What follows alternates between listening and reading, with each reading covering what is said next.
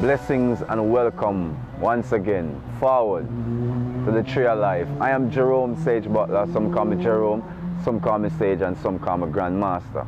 Whichever way you call me, I still am. You know what I mean? We still are. But it's a blessing to have you here once again. You know what I mean? We're having reasonings, conversations, you know, vibrations. You know what I mean? Just words, offerings, and many stirring issues. Things that you talk about, things that many people talk about. So we're just adding some fervor, fervorance to the conversation. And may I dare say, even a little reverence. Just suggesting. That's not necessarily a fact. anyway, today we're going to talk about um, yoga. Now, I know this is a very, very sensitive topic, especially because there are so much movements in the present age that is using yoga as a means of channeling energy, of creating harmonious states of well-being.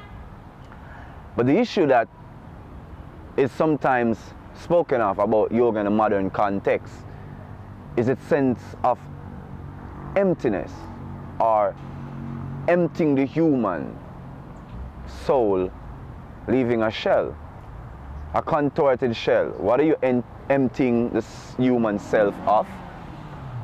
And what are you allowing to come in? You have many pundits who say Christ is a yogi. I would rather say that the yogi is the Christ, right? The essence of it is that is yogi, yoga, is yoga the yogi?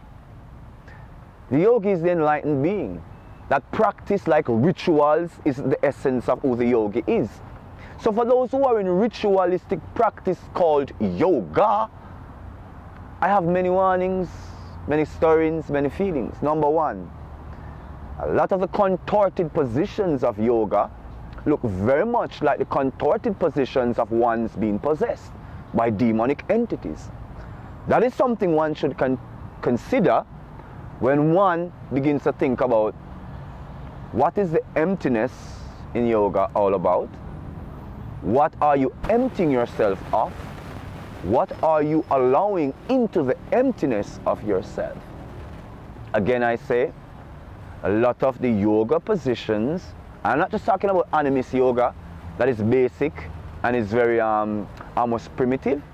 I'm talking about these highly developed postures and positions. Know, there's naked yoga. I'm not saying one shouldn't be proud of oneself. I'm just saying that there's a slight movement in this current age, you know, this new age ensembling of this kind of contorted body forms, and it's said to create union. Now, if we're talking about union, union of what? With whom? And how do we get to this union? Now, Christ as the yogi, let's go back to that principle. The seven deadly sins are said to be the seven virtues are rising the energy up the seven chakras to your crown chakras, allowing for a highly spirited, anointed, and enlightened being. Now, when the yogi has done this, the yogi becomes the anointed. Yoga practice, like Christian ritualistic practice, is supposed to help you to grow into your spiritual awakening. So, movement of yoga should be towards becoming the yogi. And the yogi is very much concerned with the soul aspect of resonance on this plane, not so concerned with wellness. That is a physicalized sense and vibratory way of living. It's almost what I would call the psychedelics induced by physical and astral psychotropics that is giving you these nuanced feelings of somewhat euphoric energy right? These bursts, these gamma ray bursts of sonic and all these subtle vibrations that when they leave you, they leave you empty, hollowed out, and dry. Just likened unto these trips that people are going, these controlled trips that people are going on now. It's the same. It's like going off into parallelograms in your psyche. You understand me? That when you return to the centralized space of yourself, you are more exposed, wounded, and open. So the seven virtues, rising the energy of the chakra, the chakrams, is about stabilizing one, your sexual,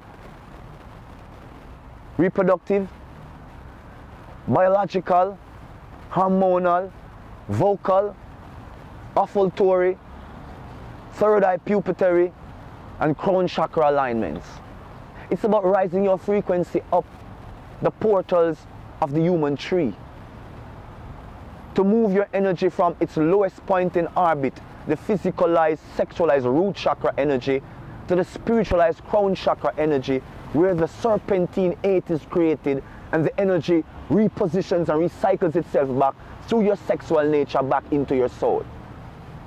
If that is the purpose of your yoga practice to go on to the way of the yogi, to relinquish subjectives and emotional and physicalized attachment to this world and the trappings of this world, I say right on. But the Christ has been our portal, who have been through the tree of life, has risen his energy from his root chakra to his crown chakra, and has arisen the planet. Oh, sac- oh sacred I am, thou is in all of us.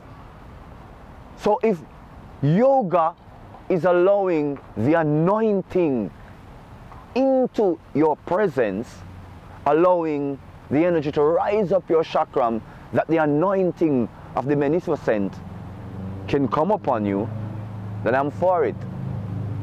So my only support of yoga, if it can be found harmonious with your Christian principle, or your Rastafari principle, or your Muslim principle, or your Jewish principle. If it finds harmony without distorting or creating parallelograms of behaviors and beliefs, if it's not a religion unto its own self, then I'm far into it. Careful of yoga, contortions, body contortion for sexual, pseudo sexual, emotional highs. Not just for those emotional rising in energy. Because I can tell you another thing that yoga is causing, especially in our circles, arising the stealing of energy. Because yoga has taught a lot of these beings to develop their energy frequency to the point where they have become conduits for the harvesting of energy from other life forms. So it's becoming this cannibalistic feast of feeding upon people's energy for again the sexual and emotional pseudo pleasures, right? So again, as I say about the yogic, if it's towards being the yogi, being the anointed, if it's towards being the anointing, then I say go absolutely for it. Then I say continuously grow absolutely for it. I say brilliantly and beautifully go for the anointed, go for the higher self, go for the higher sourcing. Cycle the energy within your being. Make the energy cyclical. So your universal or your cosmic rather can be totally aligned. And as I say, through the heart chakra, you can feel the other chakras. You can feel the physical, the mental, the astral, and the emotional environment. These are the way of the anointed. These are the ways of the anointing. These are the true ways of the yogi. So, towards awakening, don't be like the wayward sun seers, sun seeking yogics, right? Who open their eyes and their pupillary onto the sun until they go blind. There's a lots of carnage. Whether they, they say, you know, satya, um, satya yoga, and they have so much different terminologies, and each one has a high vibratory offering to give you to convince you. Just like sutras, just like mantras, just like all the, the pedagogies in, in, in modern society, in, in, in academia, and just like also the dogmas and the doctrines in Christendom. So it's not about that I'm professing one form of yoga versus the other. You must be awakened, you must be aligned. The anointing must be the way, the truth, and the light of your being. always strive to be in sync. The anointed Christ is the yogi. He has already crossed, he has already crossed the many streams of our collective lifetimes. When the energy has risen to its crown chakra, we're all aligned. Path, truth, light, and the way.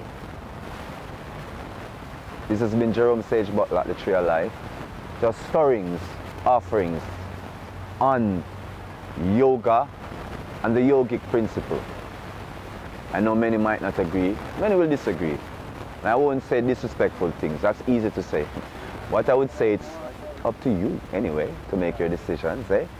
But please remember, beyond all things, I represent no special interest groups. I'm a part of no secret, no organized religious movement, nor any spiritually organized movement for reclamation of no sacred order. I am just Jerome, Sage Butler, at the tree of life, living man, living being in the living cosmos, reminding you that you're a gift to yourself and a gift to everyone else. Be the gift that you are